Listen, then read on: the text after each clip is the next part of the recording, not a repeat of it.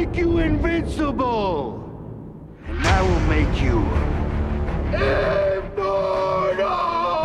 Dr. Sarah, do you believe in God? I don't. Dr. Sarah will explain why all of the vegetation on the planet is dying.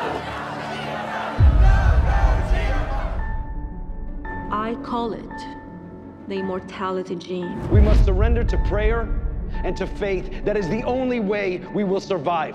That is the only way to be immortal. Do you think it's happening right now? The apocalypse. Yes. Love one another now and forever, and you will survive the end of times. Christ can do anything, Beatrice. You just have to believe it with all of your heart.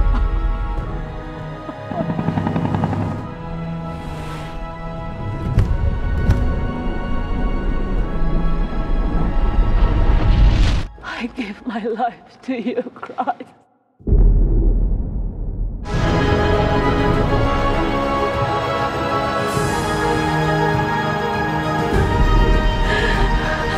I believe in you.